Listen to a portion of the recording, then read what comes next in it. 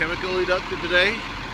My name's Roger with Mussmann Ag Service in uh, Raymond, Nebraska. And this is a 1074SS that we uh,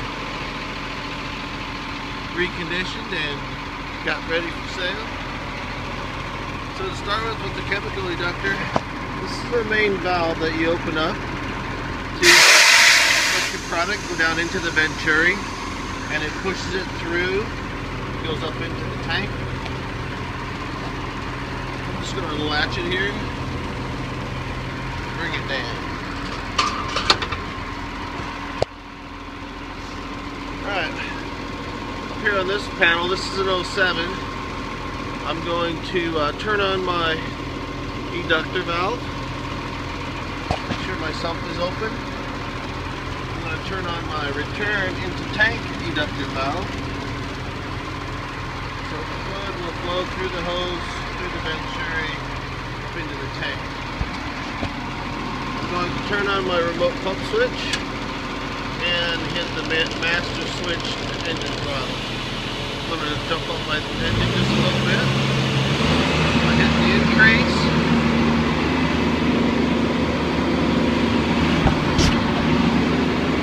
I'll open up my inductor, latch the lid up there, and you see it's kind of empty. This is a bottle washer. This is pressured all the time, so uh, all you have to do is push your bottle down and that will go. This top rinser swirls and washes your eductor down when you're done, done putting in chemical. That's operated with this valve here. The last other valve is this one here.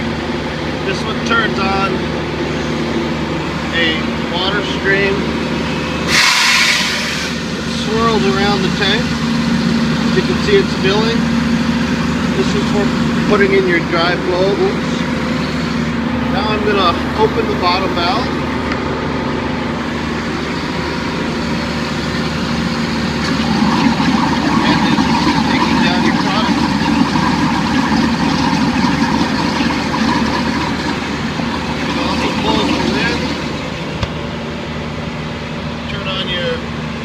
Rinser. Now that's rinsing, rinsing the tank.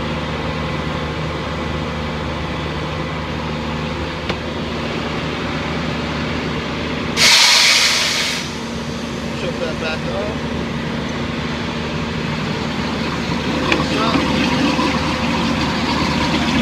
Got all of our chemicals put in.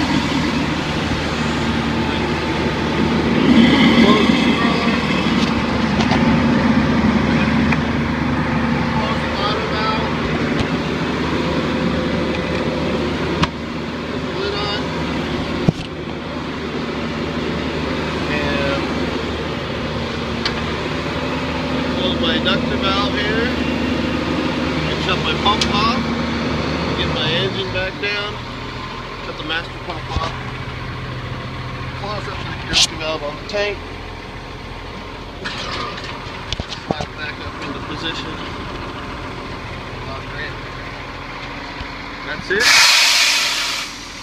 Any questions on these types of things give us a call at Mussmann Ag 783 area code 402-783-0222.